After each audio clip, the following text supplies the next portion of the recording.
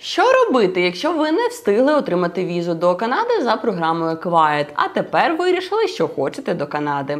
Вітаю на каналі! Мене звати Христина, та в цьому відео про це і поговоримо. А саме про те, що робити, якщо ви не подавали заяву і відповідно не отримали канадську візу саме за програмою Quiet хоча відповідали всім вимогам. Наприклад, ви просто не планували отримувати візу до Канади та в цілому їхати до Канади, але тепер ваші плани змінилися. І ви, наприклад, хочете поїхати до Канади саме не як турист на умовах для туристів, а, тобто ви не будете мати змоги працювати та не будете мати змоги знаходитись довгий час в самій Канаді.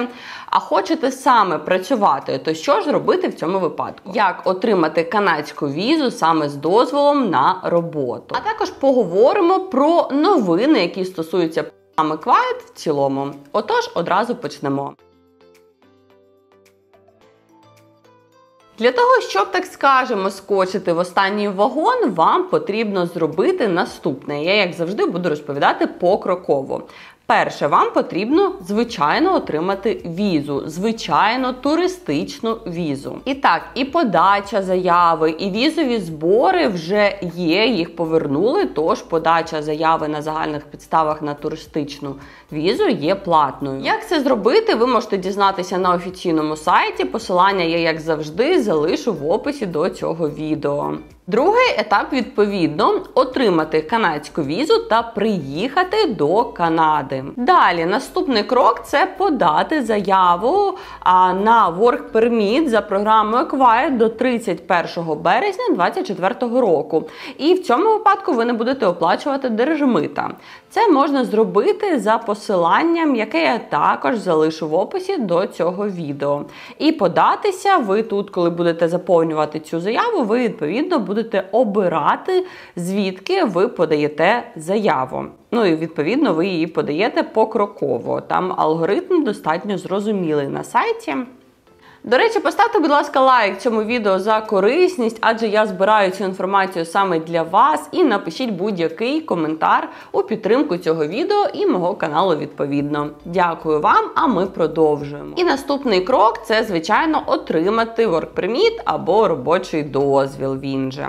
Найскладніший пункт в цілому з цих чотирьох пунктів це отримати туристичну візу на загальних підставах. Тому що в цілому це завжди завжди було достатньо важкою справою. Багато я вже розповідала в попередніх відео. Відсоток відмов раніше на канадську візу був більше ніж 30%.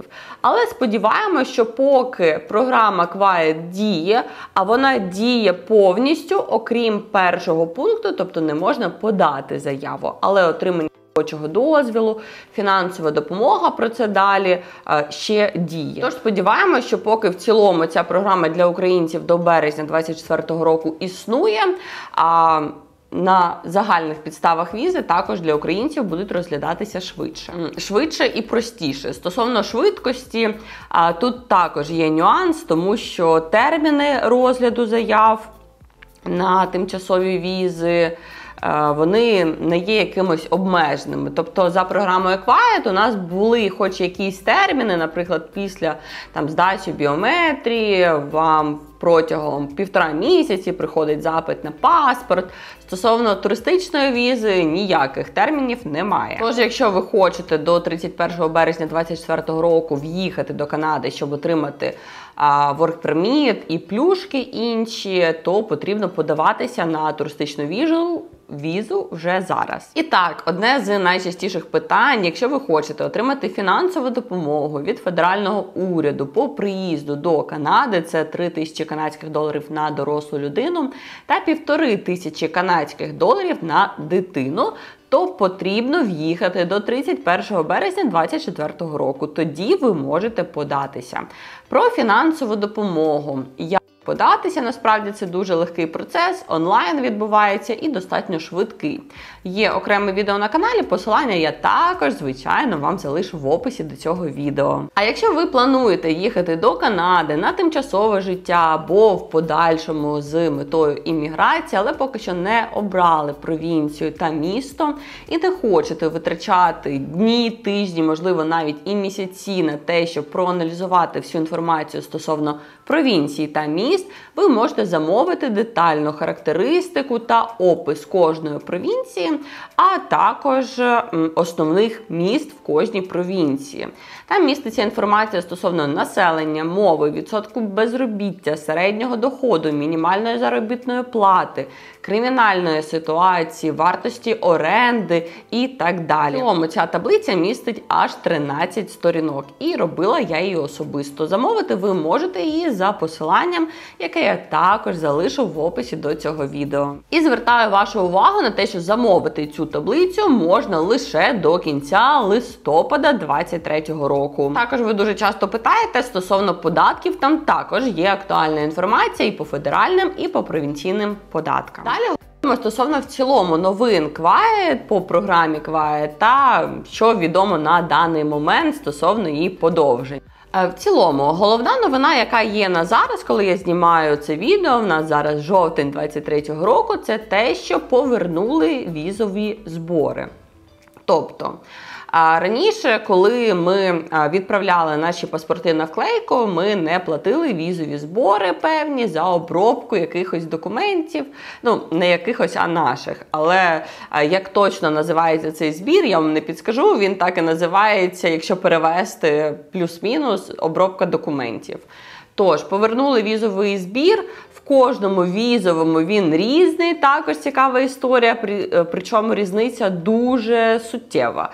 Від 26 євро до 104 євро.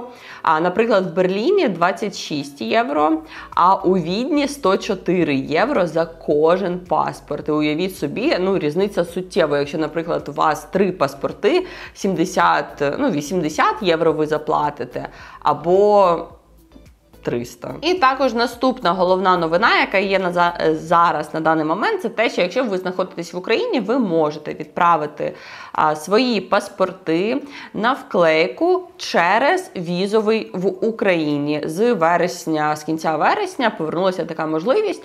Проте тут важливо розуміти, що віз в Україні виступає в ролі посередника, тобто вклейка не відбувається в Україні, візовий в Україні е, як посередник передає паспорти до візового у Варшаві. Про це ми також говорили про те, як саме подати зараз через український візовий центр, які є нюанси, тому що там є нюанси саме з приводу оплати.